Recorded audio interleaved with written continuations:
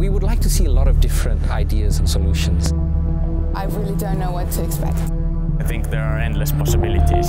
I've been to several hackathons and this is the first one where we've had other teams simultaneously around the globe working on the same problems as we are. We have seven teams in, in Helsinki and three brilliant teams here in Singapore and I'm super excited about what's going to happen next after these speeches.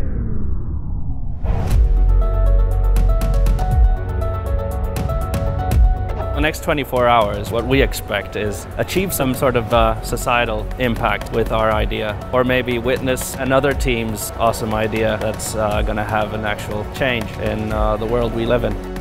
I guess we have to work hard in how to make our idea getting better.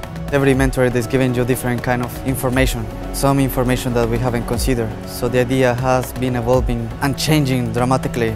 We are very much looking forward to the night and also to the session uh, tomorrow morning.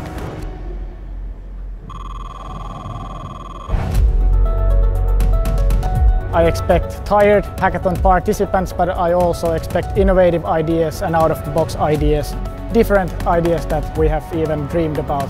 We are obviously tired after one night of work, but we managed to squeeze in a bit of sleep and we're still quite excited about, about the presentation, so hopefully it turns out okay. The jury has a very hard decision to figure out which one they actually like because there's so many good pitches. The interest for this event was much, much higher and stronger than what we anticipated.